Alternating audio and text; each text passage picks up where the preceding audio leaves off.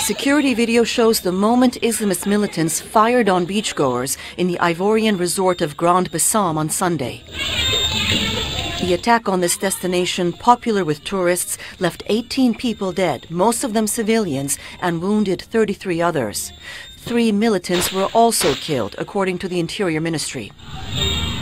Al Qaeda's North African wing, AQIM, is claiming responsibility. It says more details are to come. This was the first such assault on Ivory Coast, the economic powerhouse of French speaking West Africa, worrying workers who rely on tourist money. I don't think tourists will keep coming here, even though they are the ones who allow us to work and eat.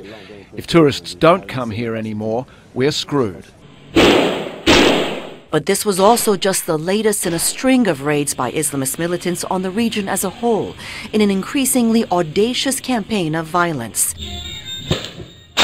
Governments in the region are now forced to address rising fears over where the militants might strike next.